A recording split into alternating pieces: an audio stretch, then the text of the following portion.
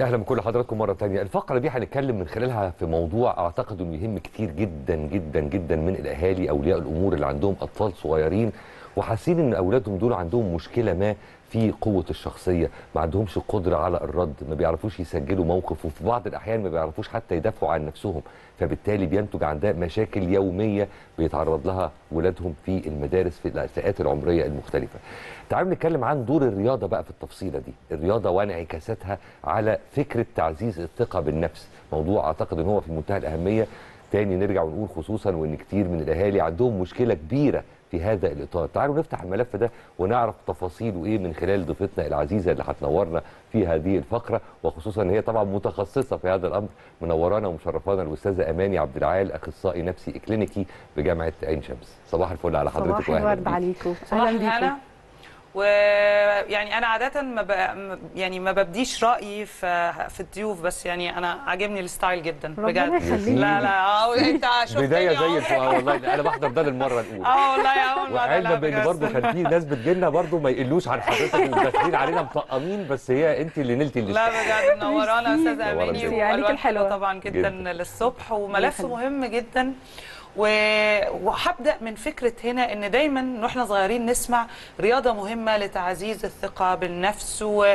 واللي هي. بتحسن المود والنفسية والحاجات دي كلها صحيح. في ناس لحد اللحظة دي ممكن يبقوا عايشين 20 30 40 سنة ومش مصدقين إن الرياضة بتعمل كل الفوائد دي فممكن نبدأ من النقطة دي للناس تقول لك أنتوا بتقولوا أي كلام علشان بس تشجعوا الناس على الرياضة لكن ما فيش الكلام ده ما بنحسوش حتى إيه صحيح. السبب طيب خلينا نقول أصلا إن الرياضة anti-depressant و anti-anxiety طبيعي. مضاده للاكتئاب. مضاد اكتئاب ومضاد للقلق طبيعي. يعني من غير ما آخد دواء لو أنا عندي قلق عالي لو أنا عندي توتر عالي لو أنا بتعرض لضغوط شديدة وابتديت أدخل في حالة اكتئابية فالحقيقة إن المخ بيعمل حاجة لطيفة جدا. لما ب... آه، لما ببتدي أمارس الرياضة بي... بيفرز لي مادة الاندورفين. والمادة دي بتخليني أكثر راحة أكثر سعادة فبكون أكثر استقرار. لأن وقت الضغوط زي مثلا الامتحانات. امتحانات الثانوية العامة يعني أقرب حاجة إحنا لسه. مارين بيها والنتيجة وحاجة كانت صعبة جدا حقيقي.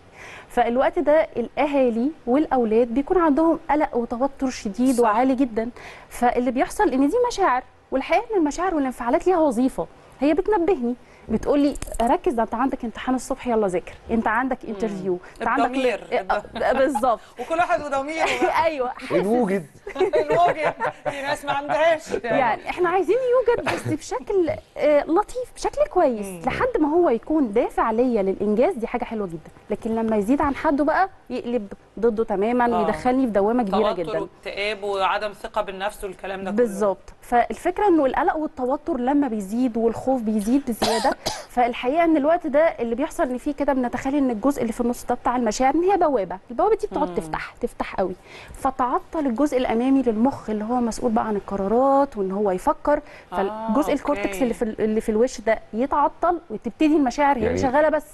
في تفاعلات آه، كيميائية حضرتك عايز. تقولي كده؟ بالظبط.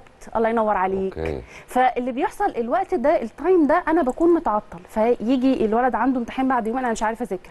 أنا من كتر القلق والخوف تلاقيهم بيجوا لا العيادة. وفي كمان صح ناس تقول لك أنا مش عارفة أفكر أنا مش أيوة، عارفة اتصرف أنا طبعاً. خلاص مخي وقف صح؟ هو فعلا ده اللي بيحصل هو فعلا مخه بيقف لأن الجزء الأمامي بيقف تماما وبوابة المشاعر هي المفتوحة على الآخر.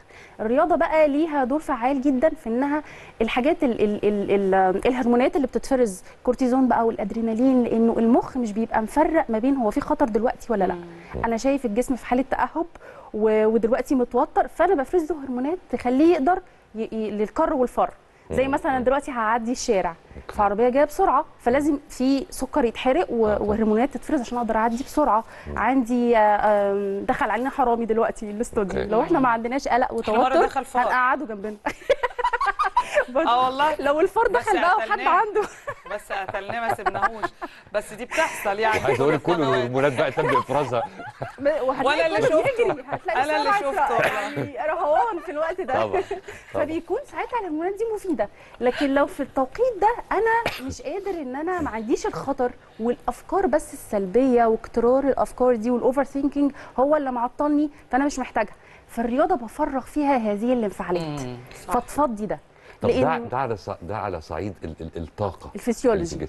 لكن على صعيد بقى تكوين الشخصية. بالظبط. في المراحل السنية الصغيرة. ليه دايما بيتقال لكتير من الأهالي إن الحل الوحيد لمشكلتك ايا كان نوع مشكلته إيه مع ابنه؟ إنه يلعب رياضة. تمام. هو جزء من الحل. يعني دايما الرياضة يعني ثلاث أرباع البرامج النفسية بتلاقينا بننصح الآباء والأمهات عنده مشاكل سلوكية عنده ADHD عنده low self confidence. و low self esteem ثقة نفس قليلة وتقدير ذات قليل. بنعمل إيه؟ بنقول لها لا ده محتاج يدخل رياضة. الرياضة بقى ليها عوامل كتير قوي مهمة في السن ده. أول حاجة بتعلمه إن هو ينساق لأن في قوانين في قواعد. كل لعبة بتحكمها قواعد وقوانين. في صحيح. مدرب بسمع كلامه. في تعاون ما بين ال- الفريق كله خاصة الألعاب الجماعية طب. بتكون مفيدة جدا للأطفال آه، في السن ده. بيتحمل المسؤولية. آه كمان بتزود الانتباه والتركيز. لأن إحنا قلنا إن هي هتفرز كمان مواد هتخليني أكثر آه، هدوءا وراحة. فبالتالي هكون أكثر صفاء ذهنيا وهركز أكتر.